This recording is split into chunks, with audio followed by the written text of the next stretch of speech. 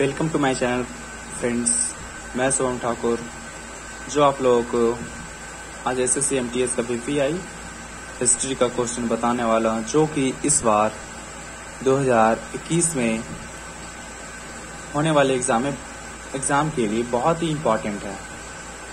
So please subscribe to my channel for new latest video on MTS तो चलते हैं friends बिना time waste किए, हम आज की वीडियो की तरफ़, जो कि हम आप लोगों के लिए लेकर आए हैं, जो कि बहुत ही ज़्यादा इम्पोर्टेंट क्वेश्चन है एस एस एस के लिए।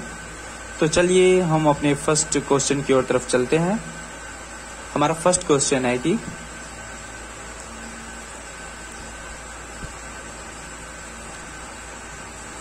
प्रायद्वीपीय भारत का दक्षिणोक्त कौन सा स्टेट है? कौन सा? तो केप केमोरिन है, जो कि कन्याकुमारी तमिलनाडु में स्थित है। केप केमोरिन, जो कन्याकुमारी तमिलनाडु में स्थित है। भारत का सर्वाधिक पूर्वी भाग,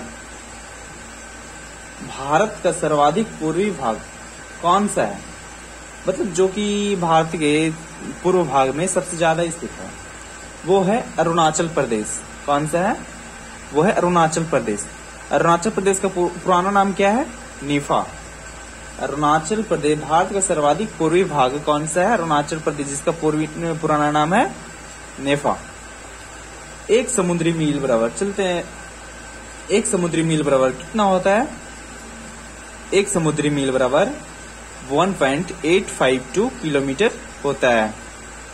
एक समुद्री मील बराबर कितना होता है फ्रेंड्स 1.852 किलोमीटर तो चलते हैं हमारे फोर्थ क्वेश्चन की ओर।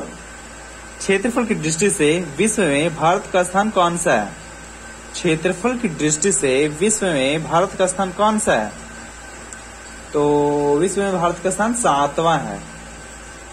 तो पहला किसका है? रसिया। पहला किसका है? रसिया। और जनसंख्या की दृष्टि से भारत का स्थान विश्व में कौन सा है? फ्रेंड्स, कमेंट बॉक्स में लिखिएगा। तो चलिए हम अगले क्वेश्चन की तरफ़ चलते हैं। सबसे बड़ी जनजाति कौन सी है? भारत में सबसे बड़ी जनजाति कौन सी है? गोंड। क्या है?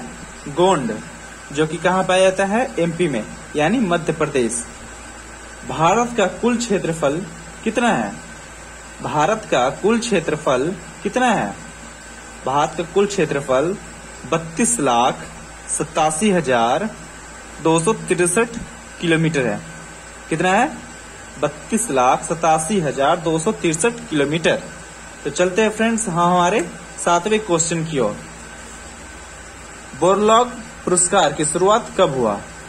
कौन सा बोर